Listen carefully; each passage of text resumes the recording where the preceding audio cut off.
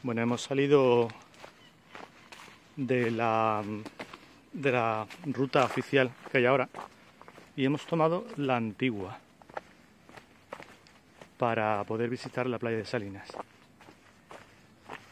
Hasta aquí un pequeño rodeo, pero creemos que merece la pena. Después volveremos a, a conectar con el trazado oficial.